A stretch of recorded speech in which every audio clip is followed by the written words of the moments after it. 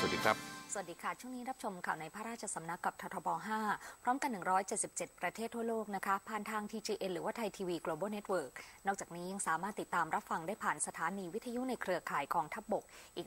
127 สถานีค่ะค่ำนี้พบกับคุณกันตชาติเกษมสันณอยุธยา และดิฉันปัจจรีสนสินพงศ์ค่ะ สมเด็จพระเจ้าลูกเธอเจ้าฟ้าจุฬาภรณ์วลัยลักษณ์อัครราชกุมารี ทรงบรรยายเรื่อง ชีววิทยาของเซลล์มะเร็งเบื้องต้น พระราชทานแก่นักศึกษาแพทย์ ชั้นปีที่ 3 มหาวิทยาลัยมหิดล ประจำปีการศึกษา 2559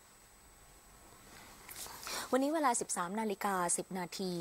สมเด็จพระเจ้าลูกเธอ เจ้าฟ้าจุฬาภรณ์วลัยลักษณ์อัครราชกุมารี เสด็จไปยังอาคารศรีสวรินทิรา โรงพยาบาลศิริราช เขตบางกอกน้อย ทรงบรรยายเรื่องชีววิทยาของเซลล์มะเร็งเบื้องต้น พระราชทานแก่นักศึกษาแพทย์ชั้นปีที่ 3 จำนวน 310 คน ประจำปีการศึกษา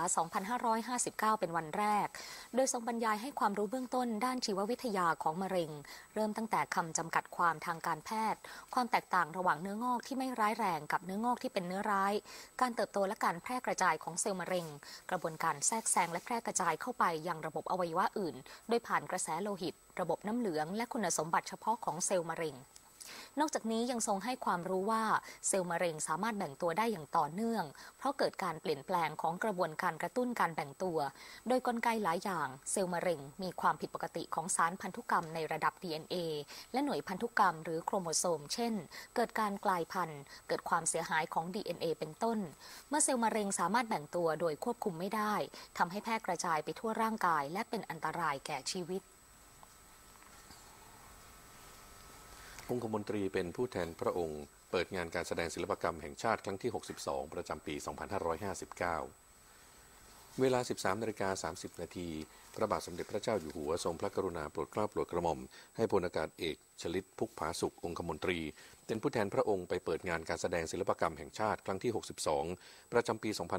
2559 ณ พิพิธภัณฑ์สถานแห่งชาติหอศิลป์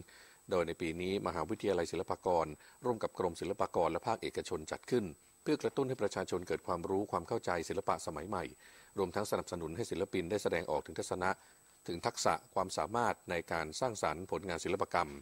อันส่งผลให้เกิดการพัฒนาวงการศิลปกรรมร่วมสมัย ให้ทัดเทียมมาตรฐานสากล โดยแบ่งผลงานศิลปกรรม 4 ประเภท ได้แก่จิตรกรรม ประติมากรรม ภาพพิมพ์และสื่อผสม มีศิลปินส่งผลงานเข้าประกวด 152 คน จากผลงานศิลปกรรม 208 ชิ้น มีผลงานที่ได้รับรางวัลจำนวน 14 ชิ้น อาทิรางวัลประกาศนียบัตรเกียรตินิยมอันดับหนึ่งเหรียญทองประเภทประติมากรรม ชื่อผลงานชีวิตที่เสียสมดุล และรางวัลประกาศนียบัตรเกียรตินิยมอันดับหนึ่งเหรียญทอง ประเภทสื่อผสม ชื่อผลงานการประกอบสร้างของเปลือกนอกในความจริงเสมือนหมายเลขสามภายในงานมีผลงานที่ได้รับรางวัล และคัดเลือกเข้าร่วมแสดงจำนวนทั้งสิ้น 80 ชิ้นและมีผลงานศิลปกรรม เชิดชูเกียรติ ศิลปิน ชั้นเยี่ยม ศิลปินอาวุโส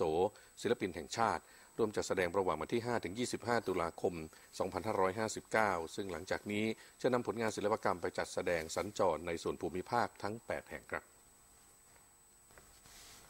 องคมนตรีเป็นประธานเททองหล่อ พระพุทธชัยวัดธัญรักษ์ราชมหามงคล และพระรูปสมเด็จพระศรีนครินทราบรมราชชนนี